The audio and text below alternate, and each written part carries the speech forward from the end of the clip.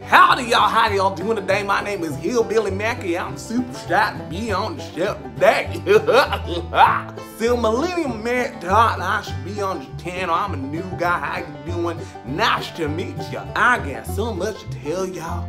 I have so many stories to tell every single one of y'all. But first I like to introduce myself. so my name is Hillbilly Macky. I'm from Mobile, Alabama, and let me tell you what I like to do for fun. I like to go pig chasing, mud racing, squirrel shooting. I like to have a good old time. Now, I understand this ain't the normal type of people you used to looking at on the channel, but trust me, I think you might like me just a little bit, okay?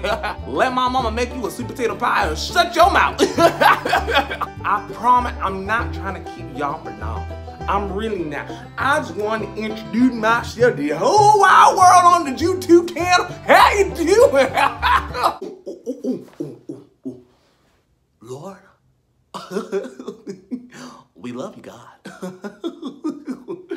God, you are being so good to us. God, we worship you and adore you, God. I'm a Christian. Southern Baptist, baby, Southern Baptist. One time I owned a bull. His name was Bayou. Bayou the Bull, and he was my best friend until he ran away. Mm. Well, Bayou, if you're watching this, I want to let you know I miss you, buddy. I miss you, man. You want to come on back to your ranch?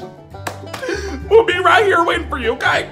When Millennial Mack offered me to be on this channel, I first I had to turn it down.